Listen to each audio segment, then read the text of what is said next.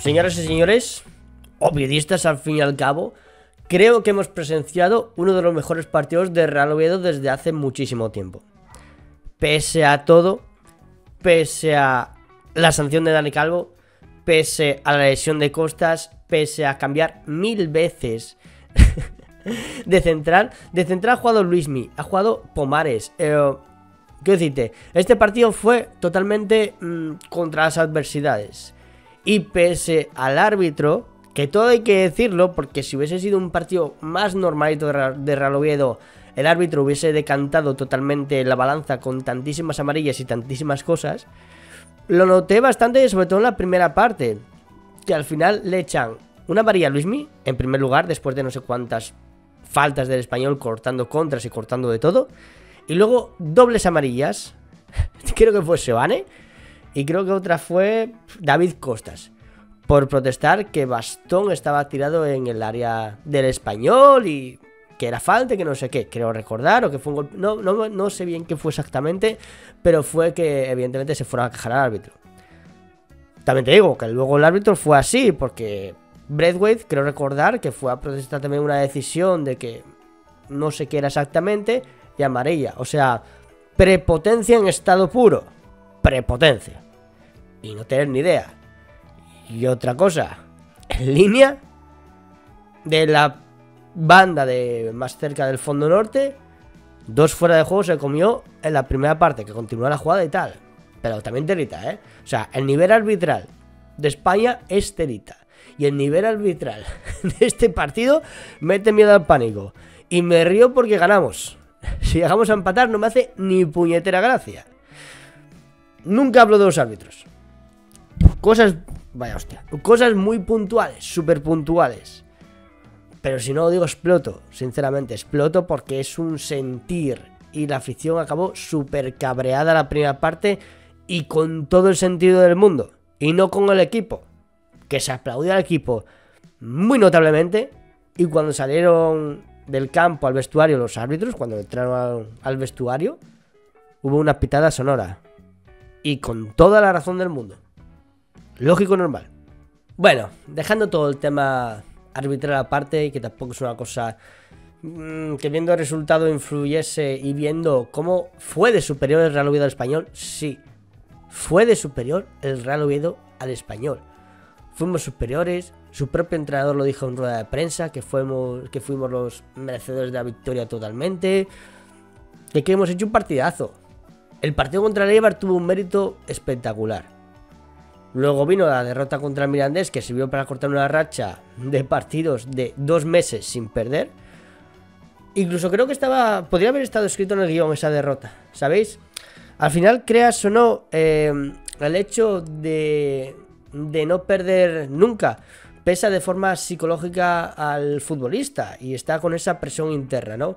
Creo que incluso esta derrota, por así decirlo, porque nunca mola perder, evidentemente, joder, es una tontería decirlo, ¿no?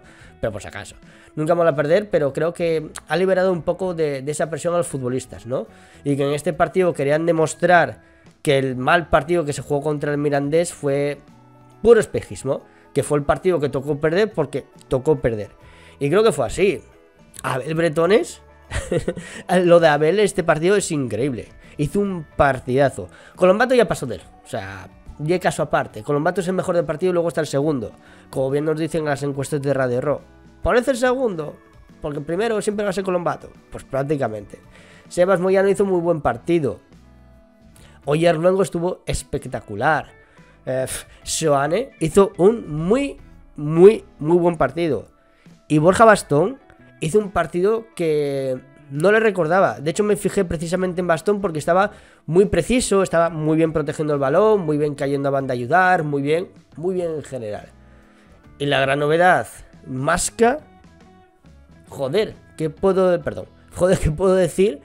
Si estás durante mucho tiempo sin jugar, entras de titular, haces un muy buen partido y marcas gol. No puedes decir nada. Nada. Solo que te mereces más oportunidades, Masca. Así es como lo siento yo. No sé, de verdad, estoy súper contento con el Real Oviedo en la primera parte, aparte de esas tres amarillas prácticamente seguidas, tres amarillas en 15 minutos, nos cargó el árbitro muy panchamente, muy tranquilamente.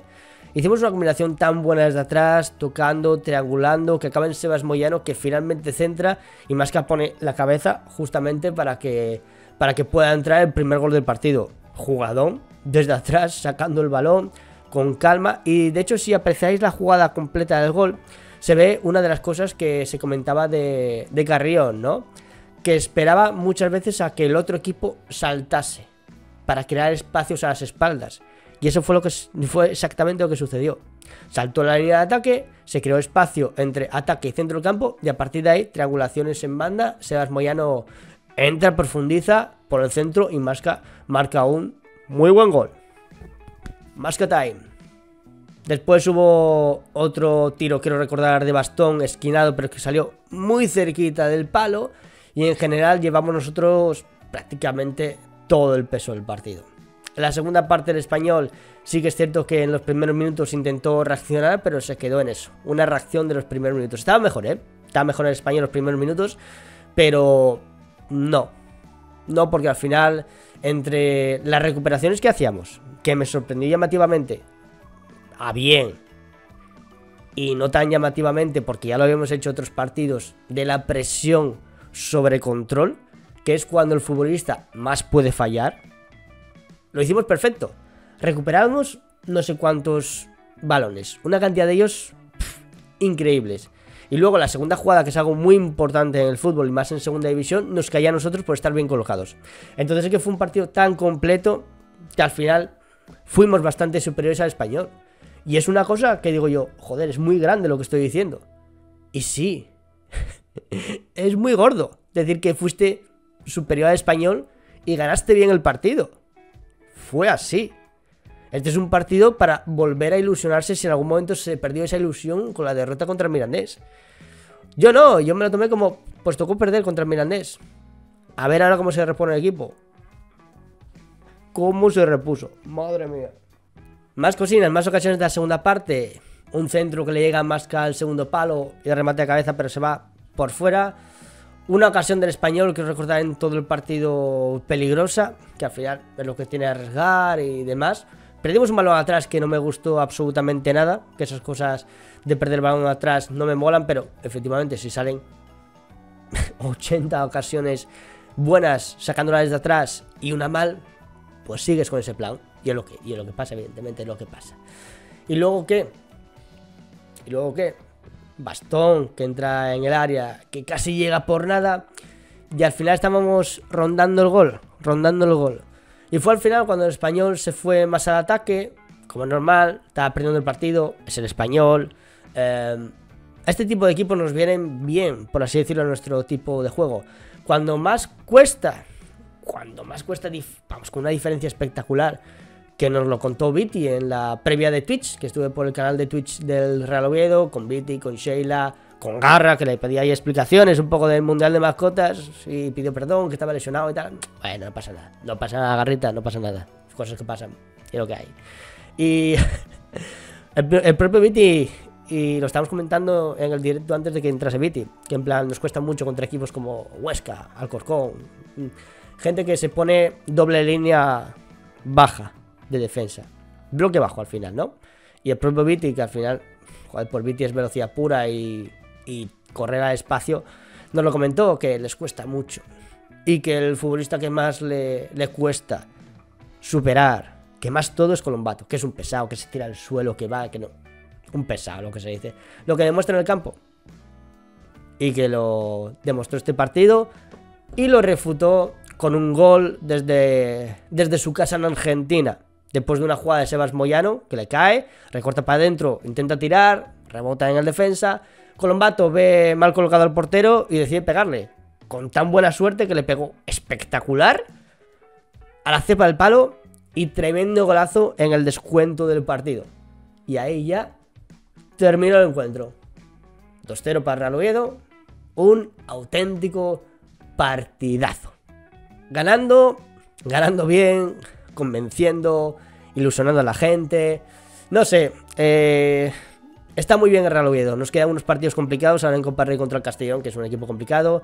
Racing fuera de casa, que está muy bien. Eh, Elche, que es un muy buen equipo. Y por último, Villarreal B, creo, antes de cerrar el año. Nos quedan unos cuantos partidos importantes. Superar la barrera de los 30 puntos antes de irnos de vacaciones sería increíble. Sería una puntuación espectacular. Tener 25 sería hacer 5 más puntos en estos partidos en liga. Y oye, ¿qué, quieres que te diga? Hacer 5 más puntos, chapo. Y nada, gente, este ha sido un poco mi resumen, la perspectiva, mi opinión de este Real Oviedo español, este 2-0, que ha sido un muy buen partido. Hemos superado al español, hemos jugado muy bien. Y al final creo que somos justos, ganadores y vencedores. Y para el saco, estos tres puntazos. Ya sabes, si te molan estos vídeos, suscríbete, activa la campana para que te avise cuando suba más y déjate un buen like por este Real Oviedo que vence y convence. Muchas gracias amigos, como siempre, hasta luego. Y al Oviedo, a por la Copa del Rey, a por el Castellón y luego a por el Racing.